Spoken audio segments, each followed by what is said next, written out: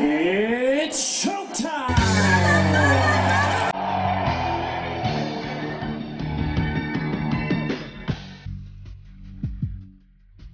Only last week, I murdered a rock, injured a stone, hospitalized a brick.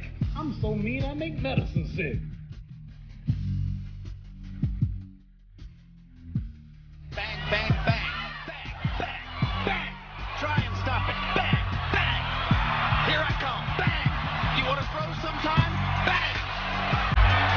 They call me the problem, but you could call me the can man, cause anybody can get it. Africans, Americans, Dominicans, Mexicans, anybody can get it.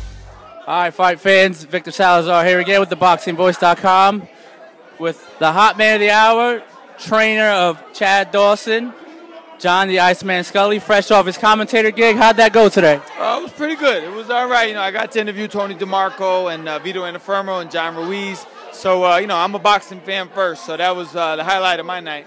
See any good, exciting fights? Any good prospects out there? Yeah, actually, um, you know, everyone showed that desire. You know what I mean? Like, uh, uh, you know, they're doing it for charity, so they don't, they're not getting paid, and they showed a lot of desire. Uh, but there was one kid, uh, Jamal Spence. He had the, the, the braids.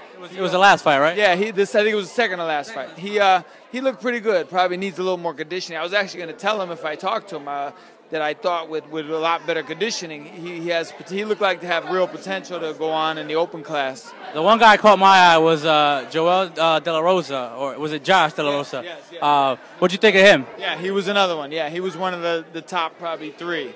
Yeah, he was pretty sharp too. Yeah, Lennox Lewis, Lennox, I'm coming for you. I'm gonna show you how great I am. Bo- bo- bo- boxing voice.